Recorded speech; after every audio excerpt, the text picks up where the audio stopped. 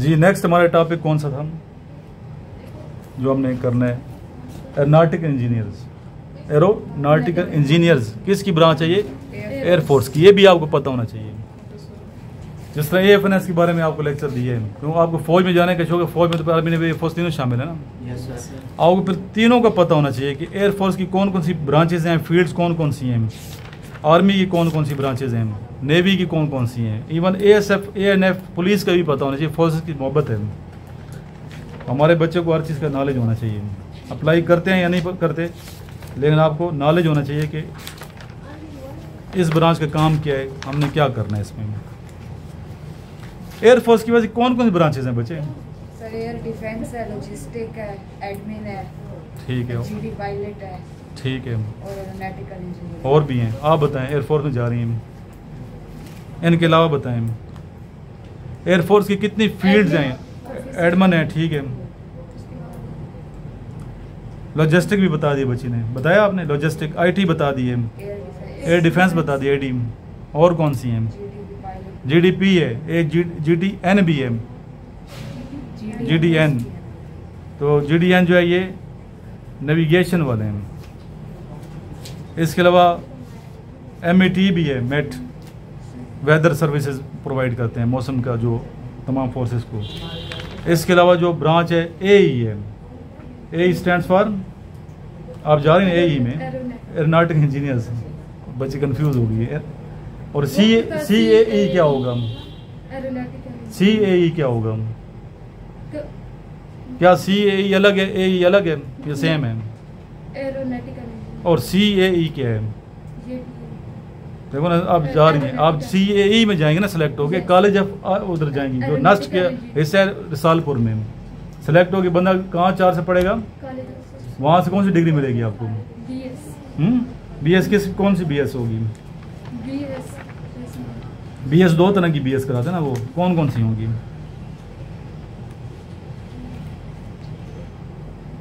ये क्वेश्चन है ना, ये भी आप एयरफोर्स में जा रही हैं नाटिक इंजीनियर्स में जा रहे हैं तो सारा पता होना चाहिए जी, एक तो एयर स्पेस है, चलो, वो मैं इस बच्ची ने बता दी दूसरी कौन सी है? ब्रांच है। जिसमें आप बी एस कर, कराते हैं। चार साल की डिग्री है। ये आपने सर्च करनी, मैं नहीं बताऊँगा। कुछ चीज़ें आपने खुद भी सर्च करनी है। कि बी एस जब आप जाते हैं सी ए ई में कॉलेज ऑफ़ एरोनॉटिक इंजीनियरिंग में तो वो जो नस्क का हिस्सा है रिसालपुर में उसकी है, मेन तो नस्क इधर आपको पता है, पिंडी में है। तो उसमें जो बी एस की डिग्री होती है, वो कौन कौन सी है? एक मैंने बता दिया कौन सी है? एरोस्पेस दूसरी बी एस किसमें कराते हैं? चार साल की डिग्री है ये। चार साल ट्रेनिंग अलग से है, ये बी एस अलग से करवाएँगे। ये दोनों चीज़ें पता हो। अब बात करेंगे एरोनॉटिक इंजीनियर्स, बहुत अच्छी ब्रांच है। अगर मैं समझता हूँ कि जीडीपी के बाद अच्छी ब्रांच है तो ये वाली है। और पायलट के बाद टफ है। टफ तो खैर है डिफेंस भी बहुत टफ है। लेकिन ये भी अच्छी ब्रांच है। ठीक है इसमें क्राइटेरिया क्या है इसका? एज लिमिट कितनी होने कौन कौन जा जा क्या सिर्फ़ मेल जा सकते हैं? या फीमेल भी जा सकती हैं? फीमेल भी जा सकती हैं। मेल भी जा सकती है और फीमेल भी जा सकती हैं। एज कम से कम इसमें 16 साल है। और मैक्सिमम कितनी है? 22 पहले इक्कीस थी अभी बाईस कर दी है ट्वेंटी टू का जीडीपी की पहले इक्कीस थी अभी बाईस कर दी है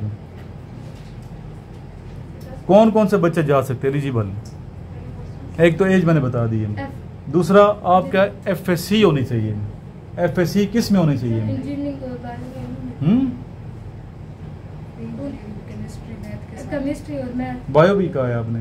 जी वो उधर जम पड़े थे सर ने कहा था अभी बायो वाले का तो इसमें दो तरह के बच्चे जा सकते हैं एक एफ़ एस सी जिसने एफ़ एस सी की हुई है प्री इंजीनियरिंग के साथ। ठीक है प्री इंजीनियरिंग ज़रूरी है। फिजिक्स केमिस्ट्री और मैथ्स के साथ।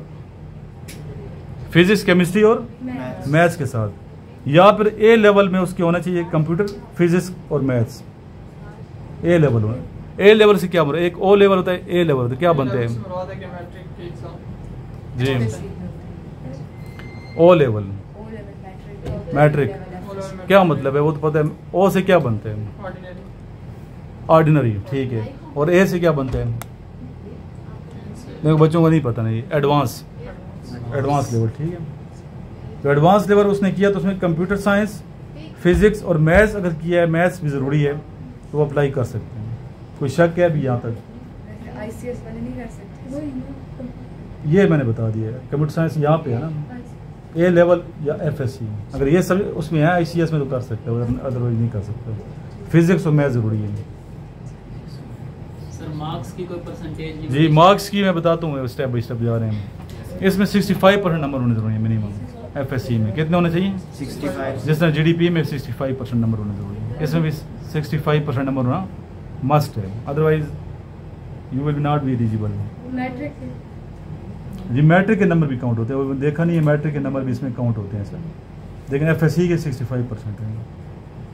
मैट्रिक के तो देखें एयरमैन जा रहे सिपाही होता है एयरमैन उसमें इंग्लिश के नंबर काउंट होते हैं। 68 है कि 67 नंबर नहीं हो तो एलिजिबल एयरमैन के लिए नहीं एयरफोर्स में। कितनी सख्ती है। और दूसरी बात यह कि पाकिस्तानी शहरी होना चाहिए। ड्यूल नेशनलिटी ना हो।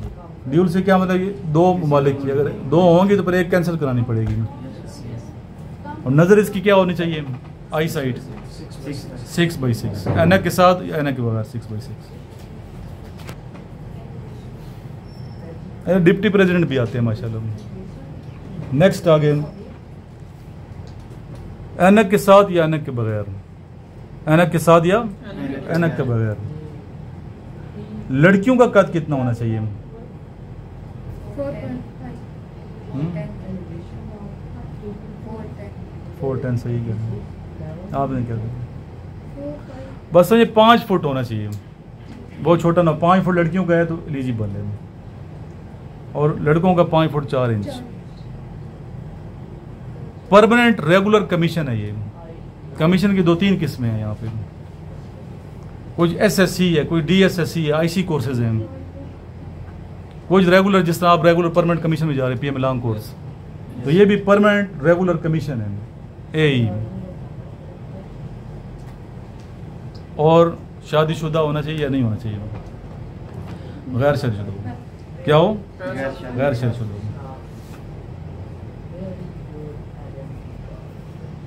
अप्लाई कैसे करना है? अप्लाई आपने ऑनलाइन जस्ट लाइक जैसे पीएमए के वो करते हैं। उनकी वेबसाइट है आर्मी नेवी एयरफोर्स की, नहीं है तो मेरे से उसका लिंक ले सकते हो जो बच्चे सुन रहे हैं। अप्लाई खुद नहीं कर सकते, हमसे करवा लेंगे। हम अप्लाई कर देंगे, हमारे स्टूडेंट करके देंगे। अब बातें नेक्स्ट आपका, कि जनाब इसमें। टेस्ट जो है ना, कितनी किस्म के होते हैं? कितने नंबर होते हैं और आपने क्या क्या तैयारी करनी है?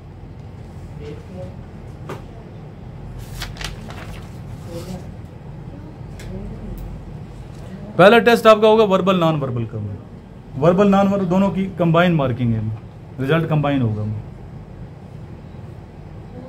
टोटल कितने क्वेश्चन है? ये भी बच्चों लोगों ने गलत वीडियो बना बना के सेंड की हुई है बच्चों को। आपने पहले दिया है इसका टेस्ट इसमें टोटल कितने वर्बल नॉन वर्बल के होंगे टीचर्स आप क्या पढ़े हैं?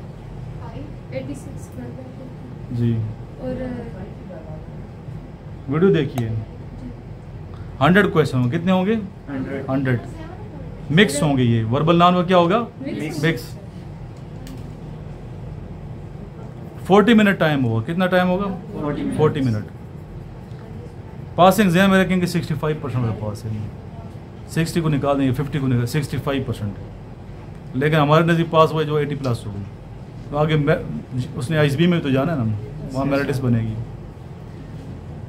ये जब आप पास कर लेते हैं तो उसके बाद नेक्स्ट खुल जाता है आपका बैठे बैठे एकेडमिक वक्फा नहीं होता जो बच्चे फेल होते हैं तो सॉरी होते हैं। ट्राई नेक्स्ट टाइम जो भी है लिखा होता है।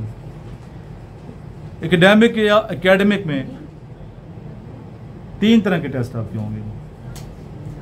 कौन कौन सी तैयारी की है?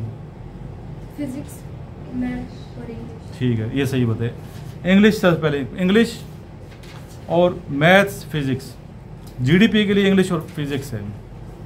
इंग्लिश और फिजिक्स फिजिक्स है। ए के लिए एक, एक एक्स्ट्रा चीज़ आ गई है मैथ्स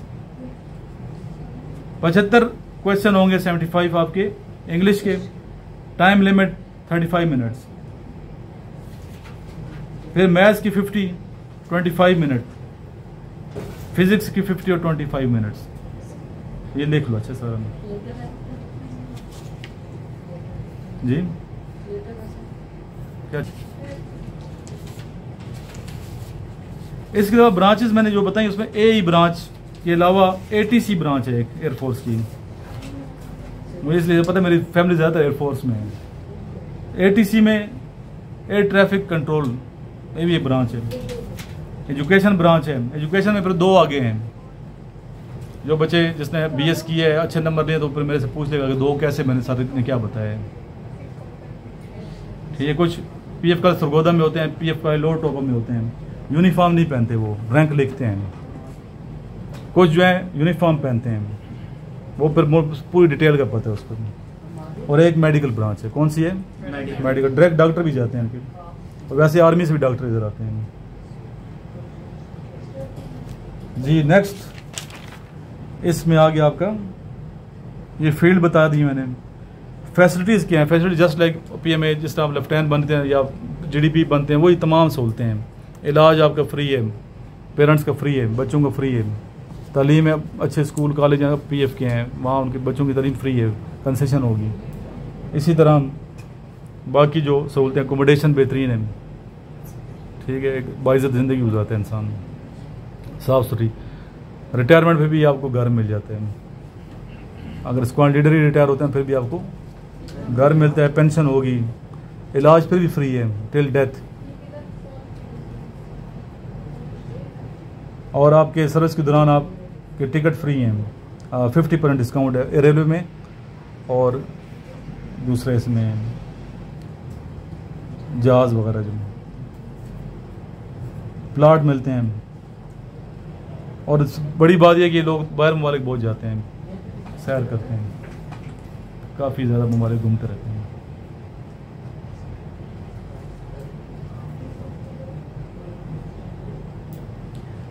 अच्छा ज़रूरी नहीं कि इसका काम जो है एयरक्राफ्ट ए की अ, के साथ और भी हो सकते हैं। कुछ स्पेशल स्पेशलिस्ट एक ही जहाज़ को पकड़ते हैं। पूरी ज़िंदगी एक जहाज़ पे लगाते हैं। मैकेनिकल होते हैं ठीक करना। मेंटेनेंस का काम करना। ठीक है?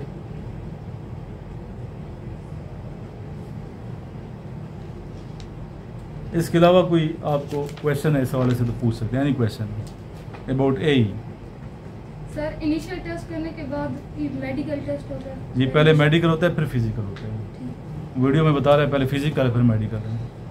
मेडिकल पहले। मेडिकल के बाद दौड़ाएगा ना बीमार को कैसे दौड़ा देंगे? नाम नहीं लेना चाहता उस बंदे का पहले कौन सा टेस्ट होगा? अभी आपका पहले मेडिकल हुआ ना बच्चे। उसी दिन मेडिकल हो जाते हैं। मेडिकल के बाद आपका फ़िज़िकल टेस्ट जो मेडिकल इशू है आपके सारे ब्लड टेस्ट वगैरह भी किए जाते हैं। उसके बाद आपका क्या होगा? फ़िज़िकल टेस्ट और फ़िज़िकल मैंने बता दिया कि इसका फ़िज़िकल उस तरह का नहीं होता। वो मैंने क्लियर कर लिया। वैसे आप फिट वैसे रहें। हाँ आई एस बी में तो करने पड़ेंगे ना ऑब्स्टिकल और कोई क्वेश्चन है तो सर जो आईएसबी हमारा होगा एरोनॉटिकल इंजीनियरिंग का इसमें वो सेम है बच्चे आई सबका सेम होता है। चाहे आर्मी का नेवी का आई एस बी आगे इंटर सर्विस सिलेक्शन बोर्ड सबके एक ही टेस्ट होता है एक ही तरह के। उसी तरह। सब जीडीपी का जीडीपी का अलग होता है आपका अलग होता है इनका पी एम लॉन्ग कोर्स का अलग होता है। हाँ, अलग अलग। होते हैं वो। नेवी का अलग होते हैं। और कुछ क्वेश्चन वो तो आपको पता है दो दफ़ा नॉट रिकमेंड है इस बी से वो नॉट रिकमेंड तीन अगर उसने टेस्ट फेल किया इनिशियल के एलिजिबल नहीं है।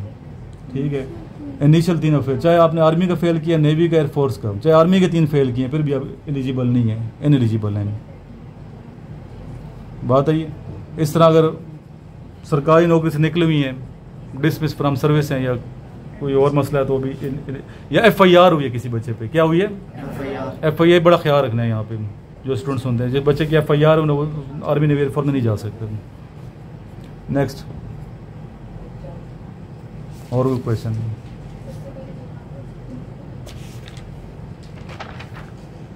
नहीं है डाउट्स क्लियर हैं आपके? वो है तो पूछ लो वीडियो में ताकि इधर आ जाएगा सर इसकी रजिस्ट्रेशन डेट कब तक वो तो भी अगस्त में आएँगी ना। अगस्त में आती है अप्रैल में आती है। अप्रैल में पहले गुजर चुकी है ना। अभी इंशाल्लाह अप्रैल में होप्सफुली इंशाल्लाह आएगी सीट लास्ट में ज़रूर फिर भी अगर इस बच्चे को डाउट है तो सवाल पूछ सकते हैं। व्हाट्सएप नंबर ग्रुप में ऐड हो और ऐड करें लड़कों को ऐड जितने बच्चे उन बच्चों को ऐड करें जो सीरियस हैं फोर्स की तैयारी के लिए। बाद बच्चों ने मेरे सारे ग्रुप ज्वाइन किए हैं तो काइंडली वो ग्रुप लेफ़्ट कर दें।